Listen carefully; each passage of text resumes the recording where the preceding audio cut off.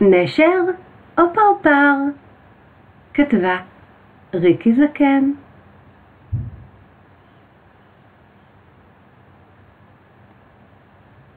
מי יגיד לי, מי יאמר, מה עדיף להיות, נשר או פרפר?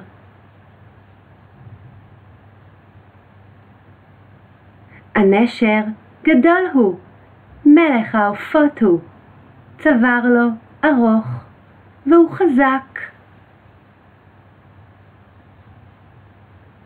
נשר קשוח, אף עם הרוח.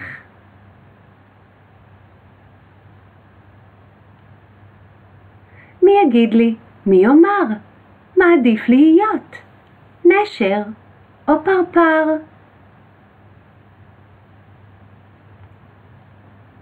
פרפר צבעוני, פרפר ססגוני, בקלילות מתעופף, בין פרח לעץ.